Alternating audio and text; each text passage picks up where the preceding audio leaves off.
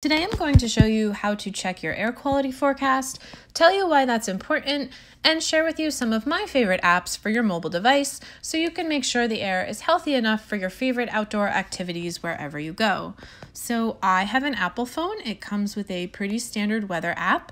Um, none of the apps I'll show you today require any sort of account, and you can choose not to allow notifications or location services if that's not your thing. So here is the weather forecast from Apple. You get the current conditions and daily and weekly forecast. And if you scroll down to the bottom of the page, the last piece of info they give you is the air quality index in a number and a word. So today the air quality index right now is 77 and the air quality is moderate. So under that air quality index number in the bottom left corner is a light blue Weather Channel logo.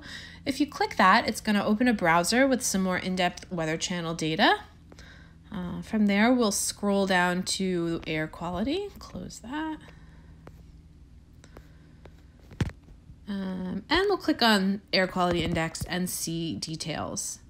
So the reason you're going to want to pay attention to the air quality along with your weather is because these are all the different harmful pollutants that you could possibly be breathing.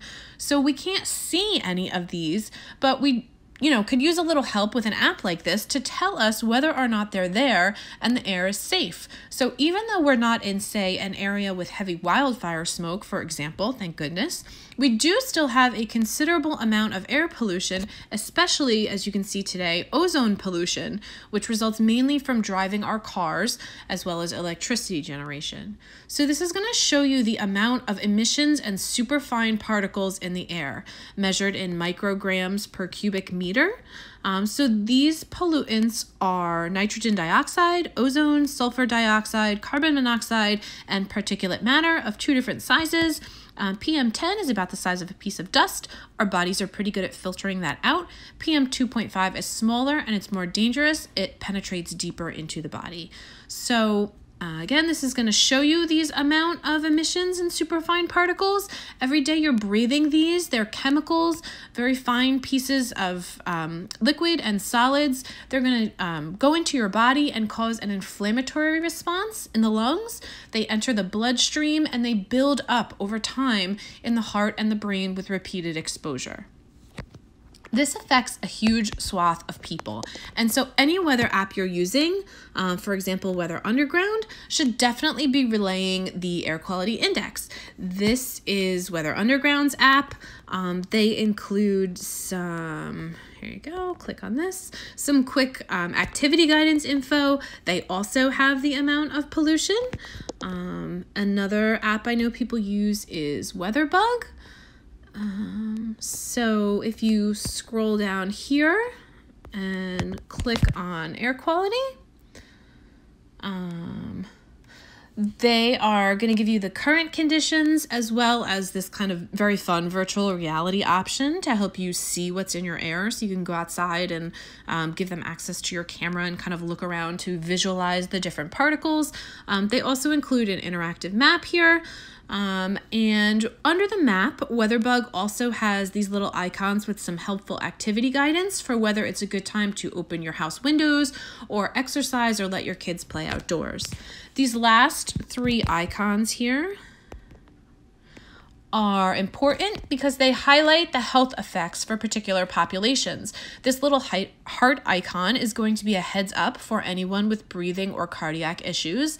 I mentioned earlier that we can't see air pollution, but if you have asthma, I'm sure you know firsthand what the air quality is just by how difficult it feels to breathe. So um, I'm sure you are well aware that you use your inhaler more on these days, and anyone at, with heart or lung or asthma issues is at a much higher risk of hospitalization on these days. So we're going to want to modify our outdoor time accordingly. Um, also, children breathe way more air per pound of body weight than adults, so it's really important to keep kids out of dirty air, which affects their lung and brain development and makes their asthma attacks a lot worse. Older adults also should use caution on poor air quality days, as should people who work or exercise outdoors. If you have an outdoor job and it's strenuous, if you're outdoors exercising, you're breathing heavier, you are more exposed to bad air.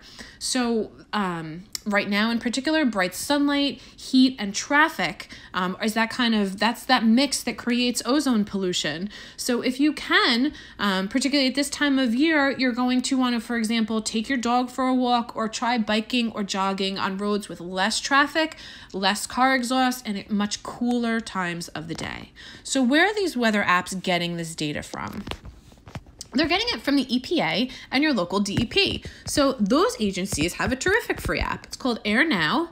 Um, if you just want to tap once and check the air quality, AirNow is a great app. It's going to offer um, clear readings, forecasts, activity guidance. So you just tap right here. You can search for your city, um, and it's going to give you this this big bright number of an air quality index and um, the forecast also for the next few days, which is really nice. So this is helpful if you're planning a hike or a long run or a picnic outdoors.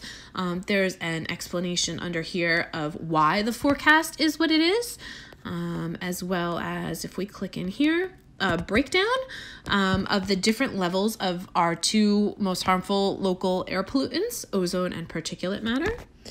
Um, so I really like the air quality um, app that AirNow has put out. Um, I think it's a great app to really easily visually understand things. It's also a good app to learn more about air quality. So if you tap the three lines up here in the top left, uh, and then on air quality index, you can see the levels of color coded air quality index. You can read how that translates into good or bad air quality, as well as how to use the forecast info to protect yourself from ozone and particle pollution in the air you breathe. Um, again, I think this is just a really nice, um, kind of clean, um, clear app to get that index number and visual color coded scale. The larger graphics would also probably be really helpful for older adults who, again, are at a higher risk of health effects from air pollution. Um, for a little bit of a deeper dive, and with what I think is a really beautiful interface, is Plume Labs Air Quality app. So we'll just open up that. Uh, since air pollution can vary significantly even from street to street, Plume is going to try to give you really local real-time air quality info. I really like this app even though again if you want to uh, if it can't find your zip code you may have to poke around a little bit to find the location data nearest you but once uh, once you have um, it's really nice. They have the date here up top. Um, so that's going to include historical data. You can click to go back. Um, it's also going to have the forecast. Um, so um, it's really easy also to scroll through not only the daily but the hourly data um, which is really nice. So you can see how in the morning or the evening, um, those times are really safer for you to be active outdoors. Um, you'll also notice that the data here for times in military time, I don't think you can change that, um, but it is worth noting that if we go back here um, on the bottom here, that little gear button is settings in the lower right. So you can change some things here. Um, under preferences, you'll see here, in settings, uh, if you click recommendations, um, that's going to let you tell the app what you're most concerned about, um, whether, you know, it's your half Ironman training or your kids or outdoor dining. Um, so that's really nice. Um, also, um, you can set your units. So anytime you're using a company's app, um, particularly one that may sell its own air quality monitor, I would be really aware of any sort of proprietary air quality index that they may be using. So here you could see that the pollution units are um, AQI in the USA, but there's also a Plume AQI, um, and different countries have different AQIs. Um, I do believe when you download this app that it defaults to the Plume AQI, um, which is fine. The activity guidance will be the same, but if you uh, want to be consistent with the EPA, EPA, you'll want to go ahead and change that. Um, so this app too, if we go back out to the home screen and click in here, is also going to have activity guidance, um, which is really nice. And for um, vulnerable populations, So it's going to let you know whether it's safe for certain people and activities by clicking on any of those. It's also going to let you look uh, at individual pollutant levels um, by clicking on any of those, which can be helpful if you know, for example, like here, um, if you know, for example, that you're particularly sensitive to ozone, um, which many people do know they are, this app would be great for that This app would also be great for any sort of classroom use if you're looking for some really nicely visualized data.